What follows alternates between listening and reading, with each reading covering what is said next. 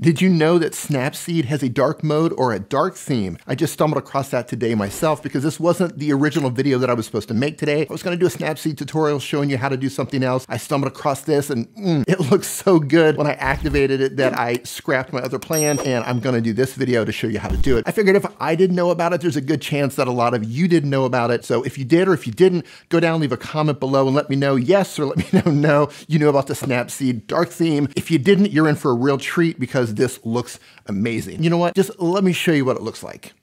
So you can see now that Snapseed is open. I can tap anywhere to open up a photo. Right out of the gate, you can see that it looks different. It is in dark mode. So I'm gonna go in and find a photo really quick to load up. I'm gonna tap on that and you can see that all of the tools are also set for dark mode. This is absolutely fantastic. It looks great. It's so easy on your eyes. Look at that. Look how awesome that looks. Even if I come into curves, I'm gonna go into the settings here, right? All of these look amazing. Look at that. So this is the official Snapseed dark mode.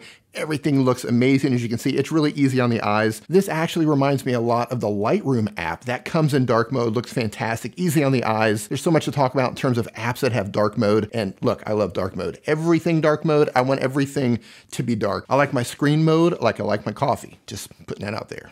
Okay, now once you're back into Snapseed, it's as easy as going up to the three little dots up on the right-hand side. Tap on that, you're gonna see settings. Tap on settings, and right on the top, you're gonna see the dark theme. You can toggle that on and off, and this is gonna go back to white, or it's gonna go back to dark. This is amazing. Look, I'm so excited that I found it today. That's why I'm making this video to share it with you. And by the way, while you're here, go through and make sure your format and quality is set at 100%. Because if it's not set at 100% and you're exporting images, you're actually going to lose quality by exporting those images out if it's set lower. And if you want absolute lossless, make sure it's set to PNG. If it's set to JPG, you're actually gonna have some image quality loss when you export.